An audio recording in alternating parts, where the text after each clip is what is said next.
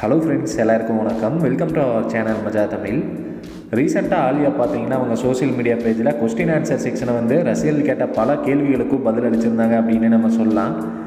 அதை தாங்க இந்த வீடியோவில் பார்க்க போகிறோம் ஸ்கிப் பண்ணாமல் ஃபுல்லாக பாருங்கள் ஃப்ரெண்ட் வாங்க வீடியோக்குள்ளே போவோம். ஃபஸ்ட்டு ஒரு ஃபேன் பார்த்தீங்கன்னா செகண்ட் பேபி நேம் என்ன வைக்க போகிறீங்க அப்படின்னு கேட்டதுக்கு கேர்ள் பேபி பிறந்துச்சுன்னா லைலா அப்படின்னு சொல்லி பேர் வைக்க போகிறோம் அதே மாதிரி பாய் பேபி பிறந்துச்சு அப்படின்னா ஆர்ஸ் அப்படின்னு சொல்லி பேர் வைக்க போகிறோம் அப்படின்னு சொல்லி பதில் கொடுத்துருக்காங்க. அடுத்து அவங்களோட ப்ரெக்னன்சி டேட் பற்றி கேட்டதுக்கு அவங்களே சொல்லியிருப்பாங்க.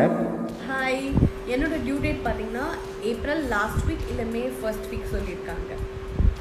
அடுத்து இந்த பதிவு பார்த்தீங்கன்னா இப்போ அவங்க எங்கே செக்கப் பண்ணுறாங்க அப்படிங்கிறதுக்கான ஒரு பதிவு தான். ரெயின்போ சில்ட்ரன் ஹாஸ்பிட்டலில் தான் பார்த்தீங்கன்னா அவங்க செக்கப் எடுத்துகிட்டு இருக்காங்களாமா? அடுத்து ஸ்கின் இஷ்யூ பற்றி அவங்களே ஒரு டிப் தராங்க அதை பார்ப்போம்.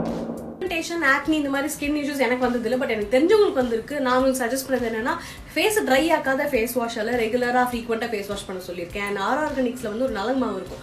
அது கூட ஸ்கின் ப்ராப்ளம்ஸ் போக்கிடும். அண்ட் அது வந்து ப்ரெக்னன்சி டைமில் கூட சேஃப் தான் யூஸ் பண்ணுறதுக்கு அது நான் நெக்ஸ்ட் ஒரு ஃபேன் பார்த்தீங்கன்னா நீங்களும் சஞ்சீவனாவும் திரும்பியும் சேர்ந்து ஸ்க்ரீனில் நடிப்பீங்களா அப்படிங்கிற மாதிரி கேட்டதுக்கு ஆமாம் அப்படிங்கிற மாதிரி ரியாக்ஷன் பண்ணியிருக்காங்க.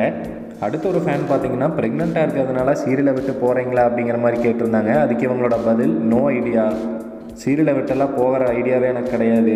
ஒரே ஒரு சந்தியா தான் அது இந்த ஆலியா மட்டும்தான் அப்படின்னு சொல்லி நான் ஃபன்னாக ஆன்சர் பண்ணியிருக்காங்க.